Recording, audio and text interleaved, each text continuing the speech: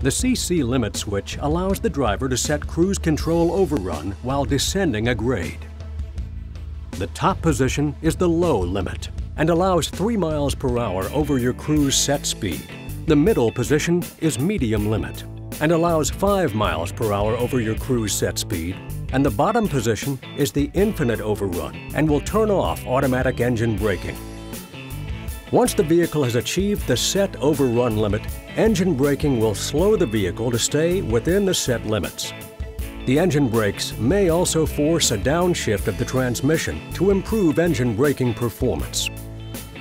Manual engine braking with the shifter stalk will always override the CC limit switch.